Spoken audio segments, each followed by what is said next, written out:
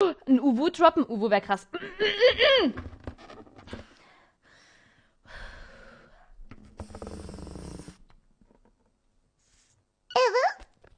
Das war so gut.